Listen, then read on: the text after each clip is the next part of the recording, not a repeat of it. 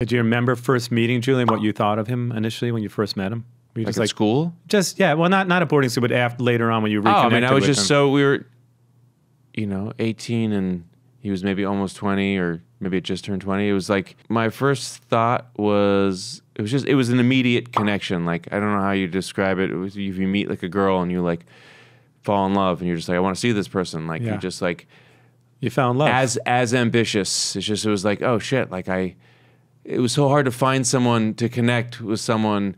I just loved the way he thought.